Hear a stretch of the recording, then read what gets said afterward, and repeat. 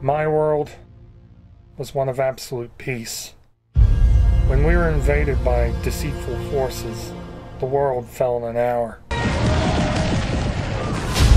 My genius couldn't save it that day. I needed to create the perfect living weapon. To do that, I needed to unlearn my compassion in order to experiment to any and all degrees necessary. Many died. The few that remain are imperfect works in progress.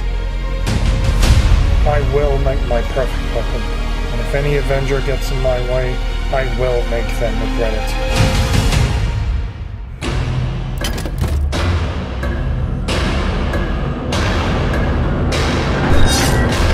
I am Niles Van Roekel, and I will save my world.